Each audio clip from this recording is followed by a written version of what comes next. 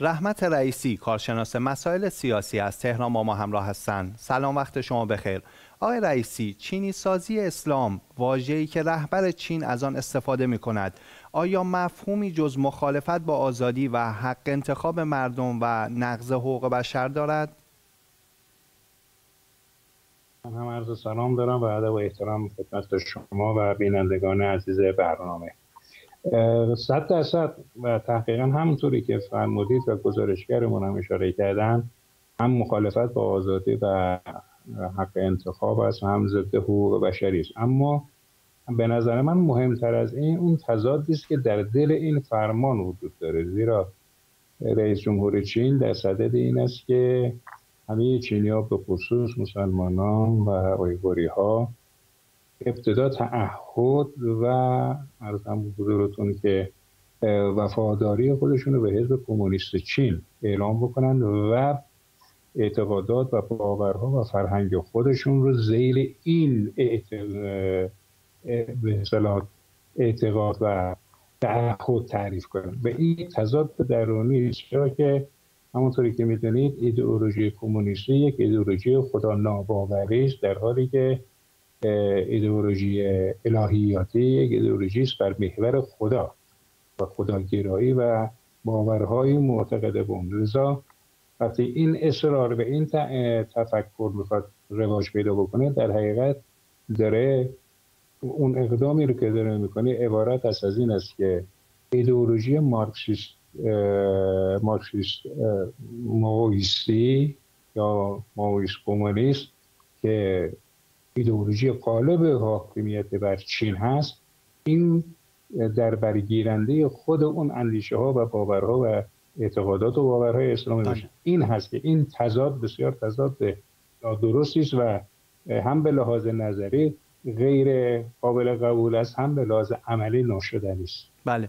جوامع اسلامی و کشورهای مسلمان در قبال این رفتار مداخل جویانه چین نسبت به مسلمانان چه وظیفه‌ای دارند؟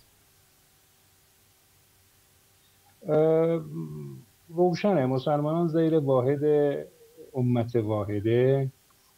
باید نسبت به همبستگی با همدیگر و پشتیبانی و حمایت از دیگر برادران و خواهران خودشون در اقصا نقاط جهان از جمله در آیورها و در سرزمین های چین همبستگی خودشون رو با تظاهرات پیوسته و نیز با به کارگیری قلم و نشر واقعیت های موجود در اون جامعه که چه ظلمی داره بر جامعه میره و روشنگری در افکار بین المللی این یک اقدام بسیار مؤثری است که می‌تواند جامعه اسلامی رو هم بسیج بکنه بله. هم حمایت و پشتیبانی خودشون از مسلمانان آیه نشون بده اون سوی قصه یک فشاری است که باید بر دولت های خودشون بیارن که در این برهه حساس اونها وادار و عکس عمل بازدارنده بشن تو خصوص در این لحظه تاریخی که می‌دونیم چین وابستگی زیادی به انرژی و نفت منطقه مسلمان ها داره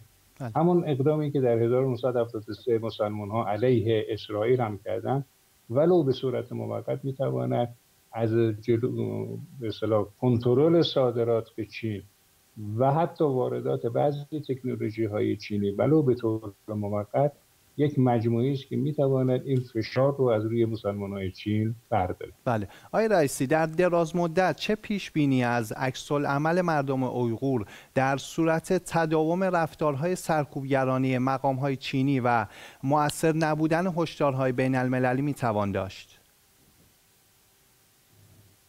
ببینید تاریخ اسلام مشهون از این هست که مسلمان ها تحت شرایط مختلف و فشارهای مختلف رفتارهای بازدارندگی همواره داشتن ما نمونه اون رو در عصر جدید داریم. ببینید در ترکیه معاصر خب می‌دونید که ترکیه ترکیزم همین بود که ناگهان دست به این عمل زد که اسلام رو اسلام ترکیه بکنه زبان عربی رو حذف کنه نماز رو به زبان ترکیه بخونن ترکی بخونن علما و روحانیون رو کنار بزنن. و از این اقدامات یا ما در قذافی هم همین رو می‌بینیم. کتاب سبز قذافی اسلام رو زیل آن عربیسم و ناسیونالیسم لیبیایی تعریف می‌کنه. اما برهای مختلف تاریخ نشون داد. که مسلمان ها در یک مبارزه پیوسته عدمی یا منفی همواره در برابر این حجم جبهه گرفتن بله. و سرانجامش هم همیشه توفیق درست و حسابی از سوی خود جامعه مسلمان ها بوده.